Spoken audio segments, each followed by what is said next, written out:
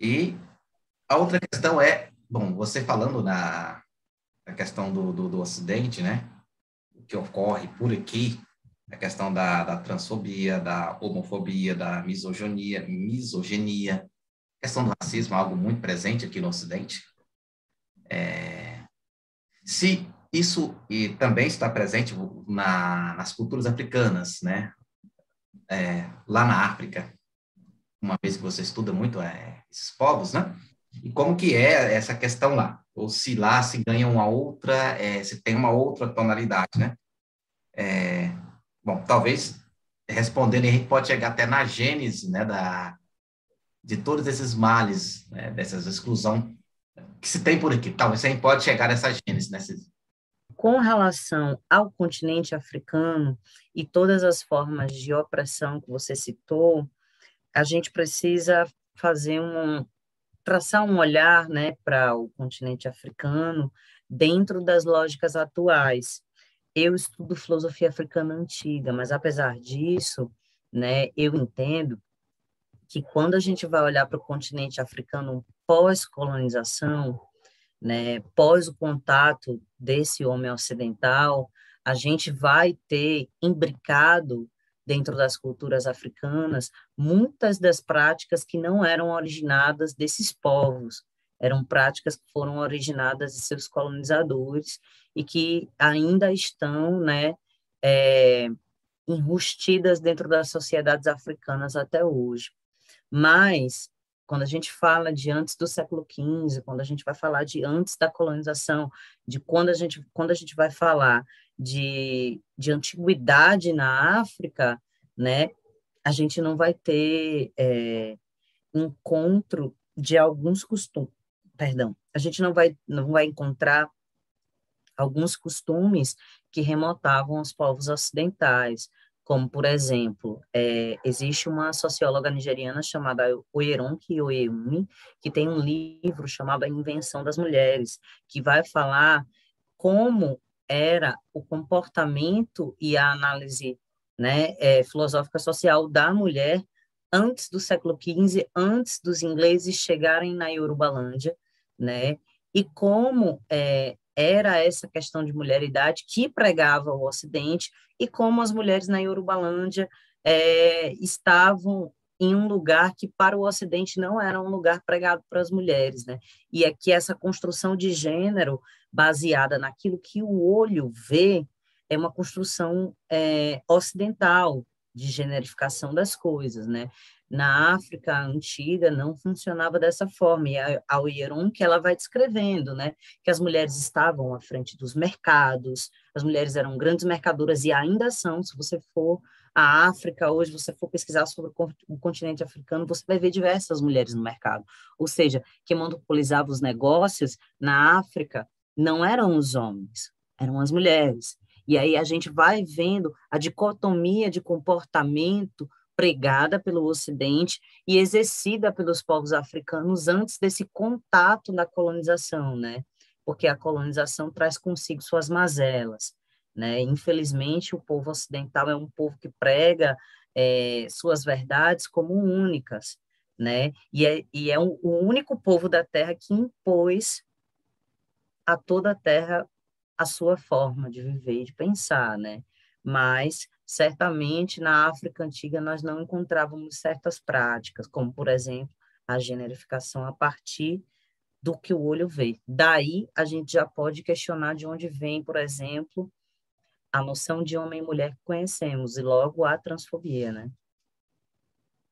Mas ouvindo aí a grandeza da sua resposta, até tranquilizou um pouco a minha consciência, depois eu pensei, rapaz, será que a minha pergunta não foi ingênua, sobretudo essa segunda questão, né? Mas eu vi que não, você trouxe, caramba, de fato não existia. Então, aquilo que eu pensei procede. Os ocidentais são os responsáveis por tal, por tais são, são, eles são responsáveis bem, por muitas das práticas, né? até o Cristo, né? Até o Cristo eles ocidentalizaram, né? Um judeu Sim, extremamente embranquecido. O judeu daquele na jeito. localidade que o Cristo vivia, o que o que o Jesus vivia, ele jamais poderia ser branco de olhos azuis, ele provavelmente era um homem negro, Sim. sem dúvida alguma. Pois é, até nisso.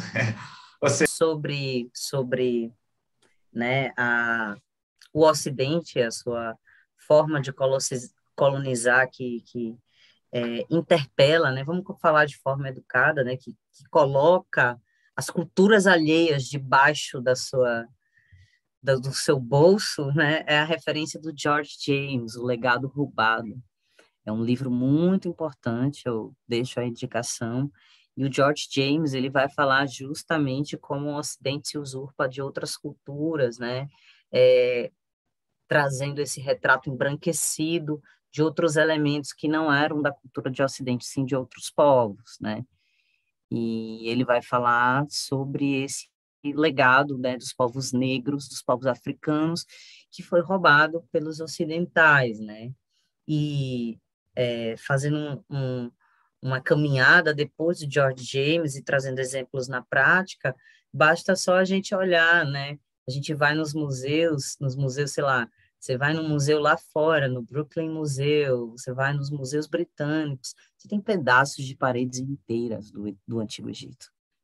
Pedaços de paredes inteiras, estelas que pesavam toneladas. Os caras colocaram no navio e levaram na cara dura. Isso tudo pertence ao governo do Cairo, isso pertence ao povo africano. Né? O Egito tem um dos, dos maiores espólios roubados pelo Ocidente, assim, e de uma forma lavadíssima, sabe?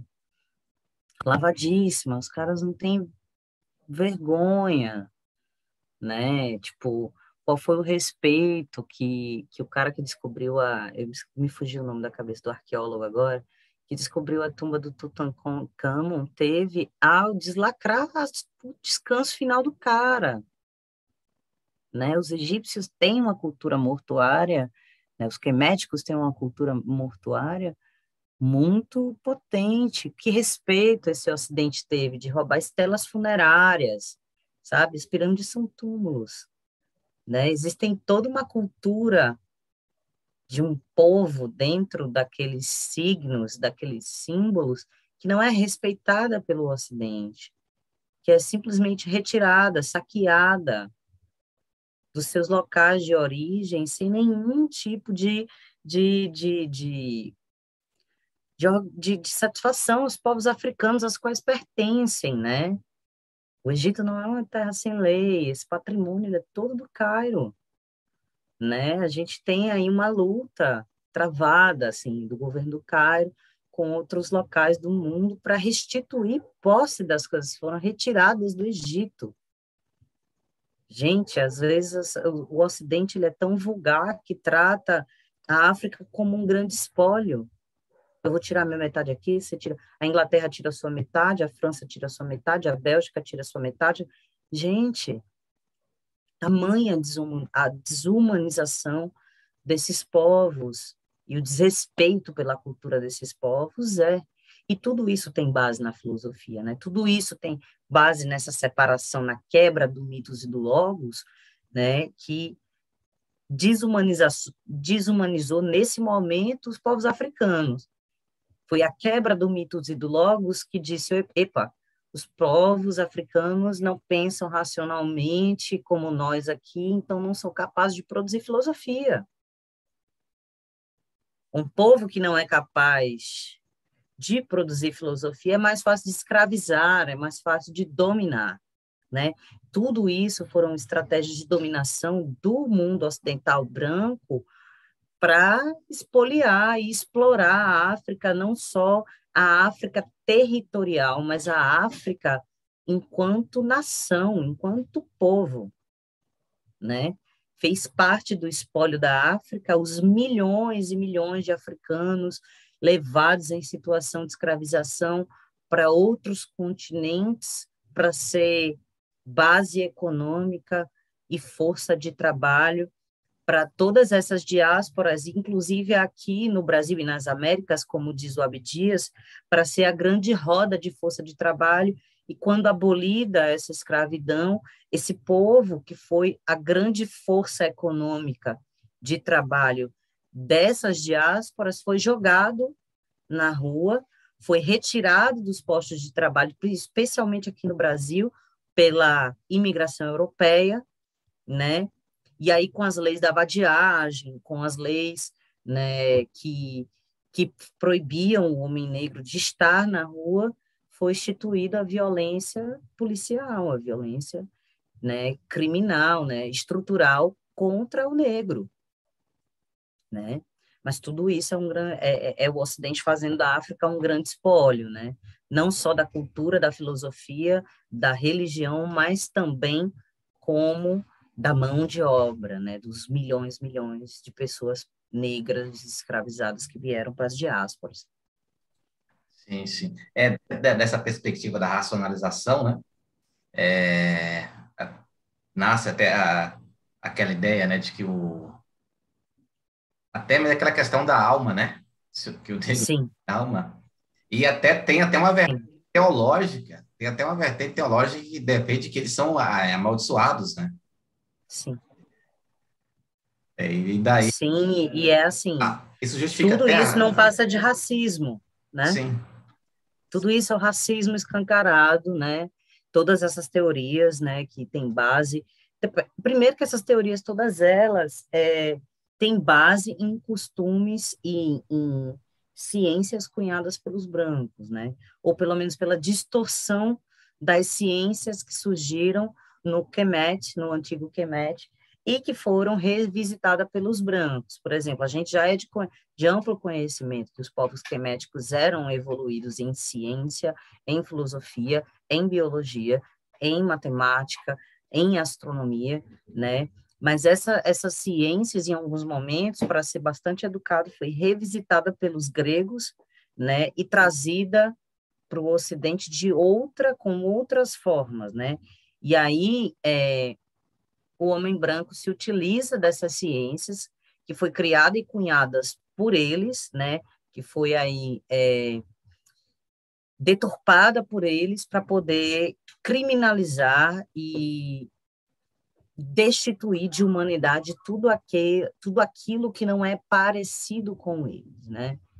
A doutora Frances Creswell sim, vai falar né, é, no seu livro, né, os papéis de ISIS, né, que os caras fizeram isso com medo de desaparecer da Terra, porque eles são minoria. Se você pegar os povos não brancos e você pegar os povos brancos ocidentais, você vai ver que eles são uma minoria na Terra. E aí a gente está falando só dos povos negros, a gente está falando de povos não brancos, então a gente está falando dos amarelos, a gente está falando dos povos vermelhos, a gente está falando dos povos ameríndios, a gente está falando dos povos indianos, a gente está falando de todos esses povos. Os brancos, eles são minoria na Terra. E é daí, para a doutora Frances Creswell, sim, que vem é, a, a supremacia branca, né? É uma tentativa de não desaparecer da Terra, né? E aí a gente vê toda essa esse esse esse esse, esse roubo, não tem outra palavra. Tem outra palavra para falar. A gente tenta ser educado, rebuscado, mas não tem outra palavra para falar. É roubo. Sim, a gente vê sim. todo esse roubo ancestral da, da cultura, da, das noções de mundo, hoje na modernidade, das noções de mundo do povo negro, né? E a gente vai ter aí o ambientalismo, como, por exemplo, uma dessas no noções de mundo dos povos não brancos, né? Que foi levada na mão grande agora pelos ocidentais, né? Com essa questão da natureza em ruínas, né? Que é esse conceito é, pífio, raso de sustentabilidade, que já eram noções antigas nos mundos é, dos povos não brancos, né? E a gente vê toda toda essa usurpação, né? É, e vê que eles são uma minoria, né? Então, é, é segundo a doutora Francis, Francis Creswell, sim, eles precisavam arranjar alguma forma de continuar existindo nessa terra ou de estar ocupando a cadeira de privilégio. Foram fortes o bastante, né? Ou seja, um grupo minoritário conseguiram praticamente dominar o mundo, ao menos a parte de cá, uma parte do mundo, né? Onde Sim. ainda eram minorias, né? Que, em relação a, a, e continua sendo hoje, né? E, bom, onde é que nasce toda essa força, né? Se é, é a questão do pensamento, se é a questão da religionalização do, do povo, né? A religião também se, se ajuda a religião própria do Ocidente, né? João Lucas, é, agradeço muito aqui a sua participação em meu canal. Você abrilhantou esse espaço, trazendo ideias esclarecedoras aqui, referente a essa temática do pan-africanismo e outros assuntos relacionados né, a esse, esse tema. Muito obrigado é, pela sua participação. Gratidão, gratidão. E para você que nos acompanhou até aqui, caso tenha se esquecido, deixe seu like nesse vídeo, comentário, perguntas, inquietações. O seu comentário poderá gerar objeto de uma nova discussão. O meu abraço e nos veremos no nosso próximo vídeo.